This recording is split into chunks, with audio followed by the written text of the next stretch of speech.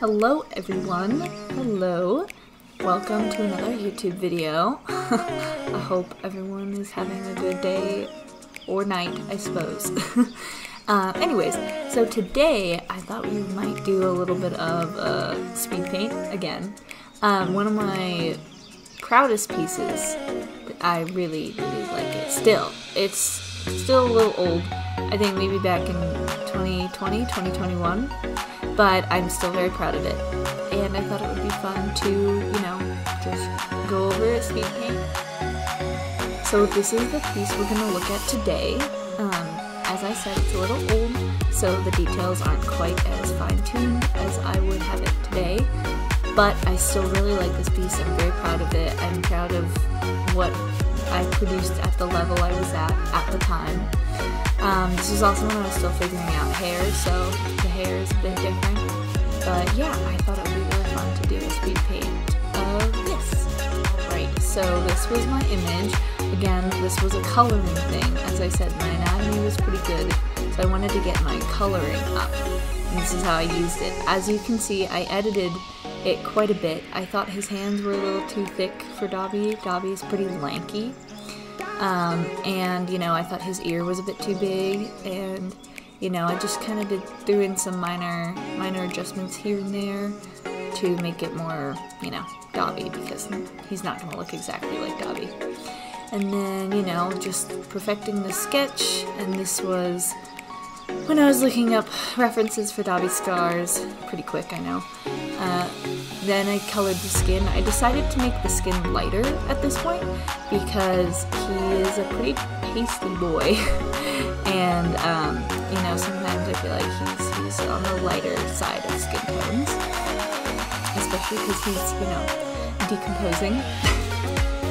Wonderful. This is back when I didn't when I did all the shading all at once. Now I kind of do the base colors first and then I go back to shade, but this is back when I just did everything all at once. So adding in some details. I already put the, you know, rounded stuff. Hand details are really important. I feel like people leave out the details in the hands a lot and it can make the drawing fall flat a little. Obviously I would put more details now, but you know, again, for the level I was at at the time, I'm still very happy with it. Yep, and then, you know, just fine tuning, adding um, deeper shadows and, um, you know, making it pop really. Uh, I would do shading differently now, but, you know, this again was very good for where I was at the time. I would make it less of a brown color scheme and more of a maybe blue or red almost. This is when I added highlight. Highlight is so important. It's one of my favorite um, things to add to any piece. It just really, it really makes it work.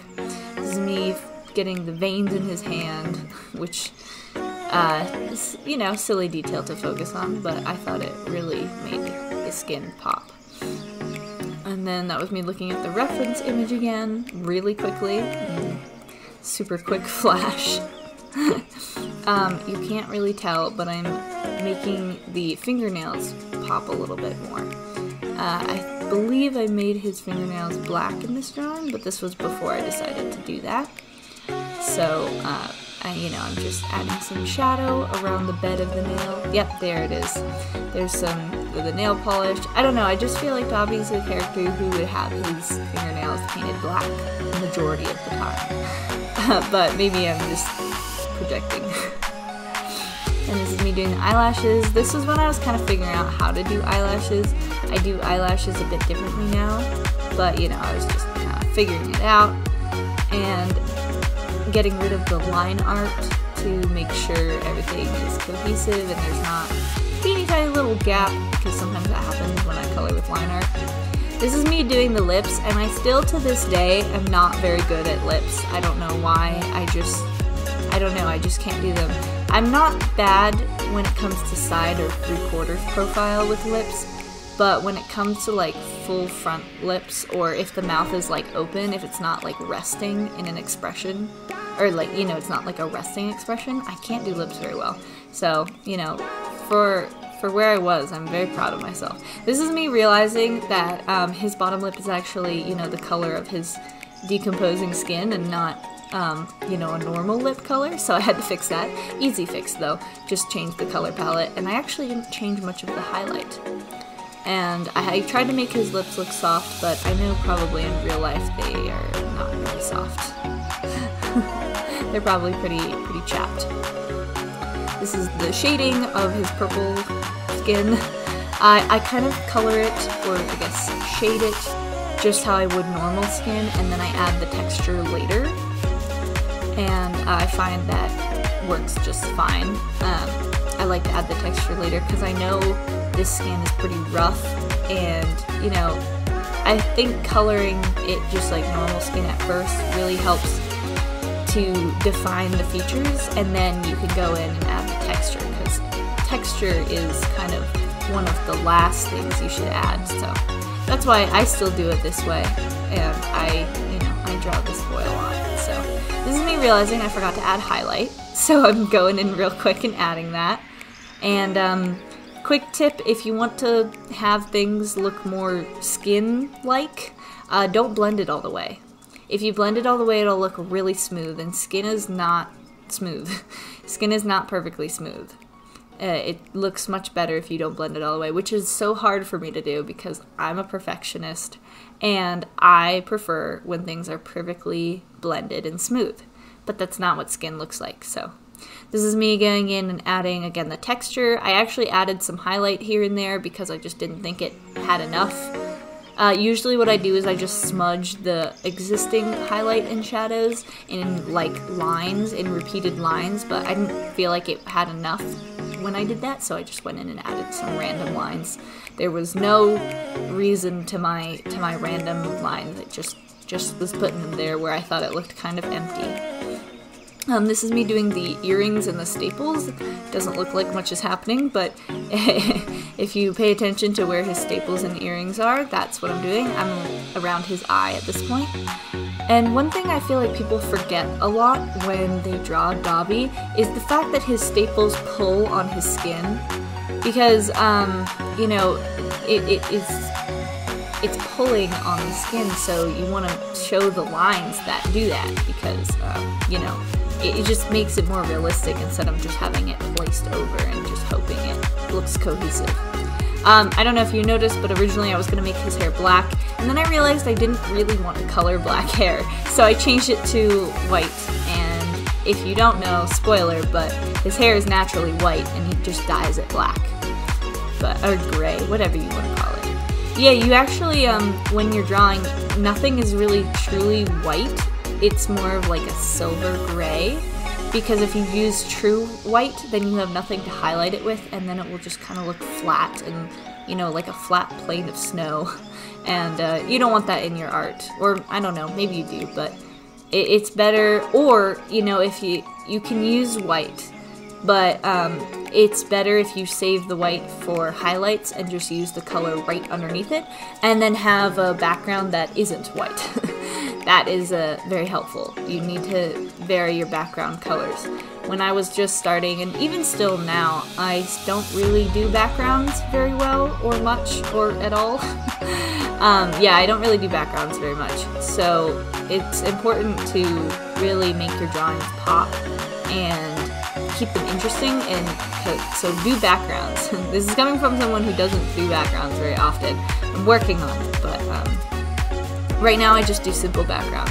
This is me changing the color of the background. I was kind of playing around with a different color that wasn't white, but I also did that because I was coloring in his jacket and I, the difference between, like the contrast between the white background and his navy blue jacket was so large that I couldn't tell what I was coloring. So I had to like change the background color to, in order for my eyes to like see it. This is me adding some details. I was going to add fire in the back, but uh, obviously decided against it. And then I added that. I actually was originally, that was part of the original piece, but I, I forgot it in the sketch. So when I was done, I was like, oh, okay, I'm done. And then I was like, oh, wait, I was going to add much more. And so that was me last minute adding. Um, and this is me filming, filming stuff. So I had to like undo and redo a lot. But these are all the steps condensed, I suppose. and yeah, so that's this drawing right here.